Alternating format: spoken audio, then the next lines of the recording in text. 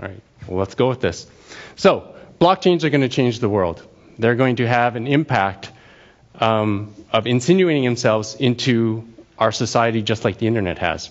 And just like the internet disrupted media by digitizing information, blockchains are going to disrupt a whole group of sectors banking, government, uh, industrial sector, trading by digitizing business processes.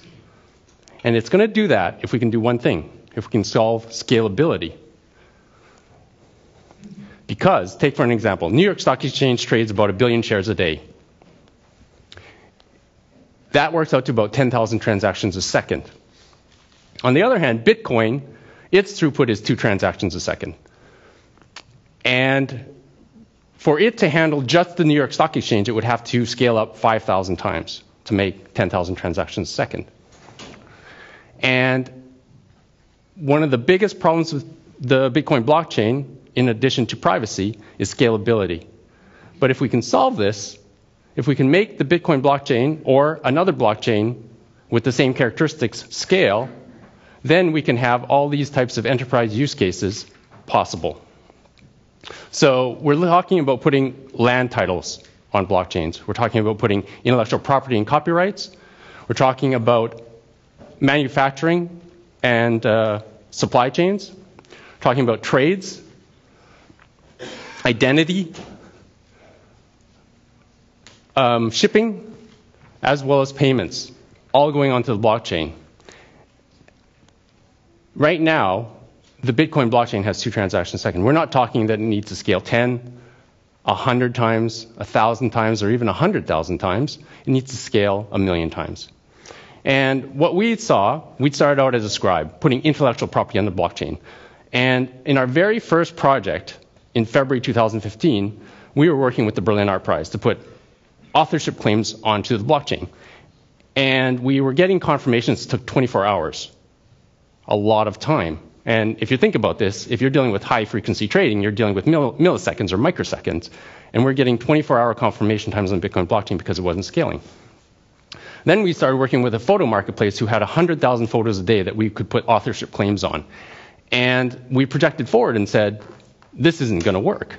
There's no way we're ever going to be able to achieve the vision of blockchain if we weren't able to scale it. And nobody else was doing it. So we decided to build it ourselves. Um, and what do, I, what do we mean by scalability? What are the challenges with Bitcoin and the blockchain? Well, number one, scalability means a whole bunch of kind of characteristics. Number one is throughput, two transactions a second. You have latency. How long does it take to process a transaction? In Bitcoin blockchain, it's 10 to 1,000 minutes. Capacity is 50 gigabytes, which is nowadays a memory stick. Um, scalability, in that the performance decreases as you add computers onto the network, and you actually can't really find data onto the Bitcoin blockchain that easily. So we brought out BigchainDB. It's the world's first scalable blockchain database, and it's a database that has blockchain characteristics for the world. And why is it special? Well, first of all, the throughput is a million transactions a second. Our latency is less than a second. The capacity is in the petabytes, which is a lot. And we actually get better as you add computers onto the network, and you can find the data once you put it in there. It's essentially um, a database, a distributed database with blockchain characteristics. And there is no other blockchain database in the world. But what it allows is for enterprises to move from a prototype to production knowing that scalability is solved. It allows developers to build applications on top of blockchain technologies knowing that um, they can handle millions of messages or transactions a second. And it allows for this kind of permissionless innovation that needs to happen for, for the blockchain kind of technology to take root. And just to kind of give you an idea of what what we did, we took the best of the Bitcoin blockchain, which is immutability. That means once you write something to the ledger, it can't go away. We took uh, no central authority, and then we took assets over network from the Bitcoin blockchain, and then we added to that the qu- qualities of distributed computing and distributed databases, and we put that together into BigchainDB. And since we released, we've had over 250 inquiries from enterprise consultants other blockchain companies across the entire board. People are interested in this because if you've been working in blockchain technology, you know that scalability is a problem. And we've signed deals with about 29 of them, and we're signing more every week. And why is this kind of special? Well, the BigChain DB fits within this concept of an emerging decentralized stack. The internet was the first one, which is decentralized communication. And now, within the elements of computing for decentralized uh, process or decentralized world, you have other components that are being developed. You have things like Bitcoin, you have file systems, and now you have BigChain DB. You also have Ethereum for smart contracts. And on top of that, you're able to build platforms and applications on top.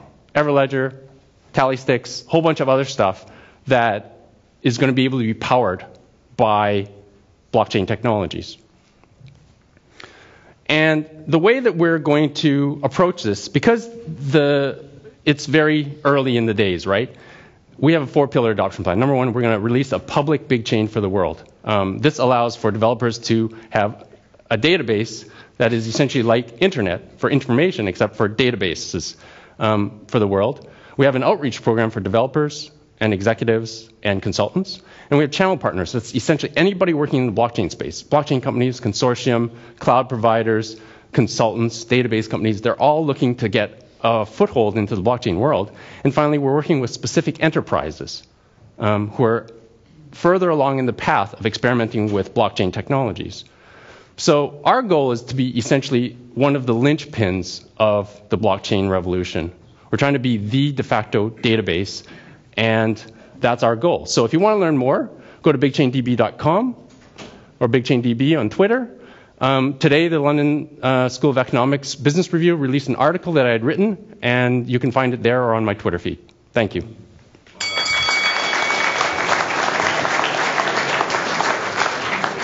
Thank you. I got a million questions that I want to ask you, being the technology nerd that I am, but I'm going to leave this to the judges.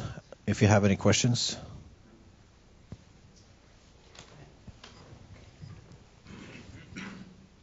Thanks for that. Um, I had a question firstly on, uh, I guess, the user adoption and the sales strategy from that perspective. Um, you know, your clients that have these relationships, the SAPs, Oracles of the world, um, you know, are selling databases to these clients. Now, how do you work with them or through them, or do you compete directly against them? And, then how do you drive the more public adoption of the BigChain DB? Yeah, so right now, the many of the big players are, are not really getting it yet. Um, that's one thing. Second thing is is that for the demand side, most of it's been organic. So in other words, anybody, there's right now about 2,000 experiments going on in the in the world on blockchain technologies, and anybody who gets close enough to needing scale needs to come through us. There is no way around. There is no other technology that allows for such scalability and throughput. So we actually have a unique perspective on the ecosystem and seeing any any use case that's getting closer to production, they call us. Pascal? Um, given that uh, most of the tech stacks in the uh, uh, in the space, um, the various forks of uh, Ethereum, uh, Ripple, of course, the Bitcoin blockchain, are still somewhat immature, i.e., it's early innings in terms of how they are going to morph and complexify or split. How do you think about the interoperability, what I would call forward interoperability, in, in building your technology and making sure you don't go into dead ends and, and you know, still grow with the tech stacks that are going to grow up, uh, with you? So the, the two main kind of groups that we need to work with are like the, the Ethereum style spinoffs and the platforms, right? We're working very closely with all of them. So we're working with about 10 different Ethereum companies as well as most of the platform plays, as well as the consortiums. So we're in the discussion because they are coming to us saying, uh, we need a scalable blockchain style database. So we're working with on, them on that and defining the standard as we go along. And that's how we, that's part of the takedown strategy, to be integrated in to the, the, the movement because it's going to go slow, slow, slow, and it's going to go very quickly. And when that happens, when that inflection point comes, we aim to be the linchpin there. Yeah, thanks for your presentation. So there are a zillion use cases, you know, if you have brainstorm, we have another uh, 100. But what are the specific use cases you are going after? Because I, I do understand what you deliver, but what are the specific use cases? You know, it's, it's, that question is akin to 30 years ago, having a conference like this and somebody saying, you know, there's this thing called TCP/IP, and we put this thing, thing like HTML and HTTP together. It's called we call it the internet. What's the use case?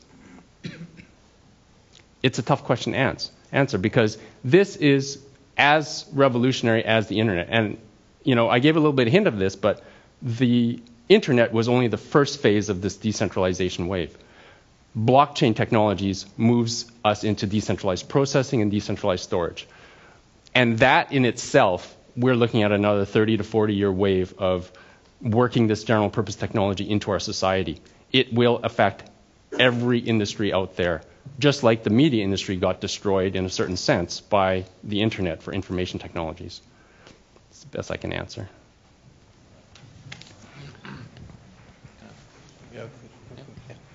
Um, just to build on that question, original use case or the, the way I remember this um, ascribe is this intellectual property right um, um, value proposition. Is that gone now, or is that in the background still there, and you're just building the technology first to do to enable this then, or? Yeah, BigChain DB is the core purpose of our business now. We pivoted away, but Ascribe actually Ascribe is an interesting story because we thought you have 180 countries and you have 180 different laws to protect copyright.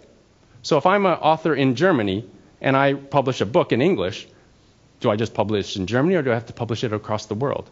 And we said, well, blockchain actually is a good technology for this because you can just publish it once on the blockchain. Everybody knows this. Same with births, deaths, all these kind of things.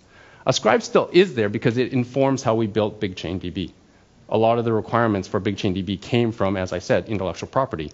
The beauty of this is, though, the same requirements we had for intellectual property are the same requirements that banks have, same requirements that payment providers have, and manufacturers, supply chains have.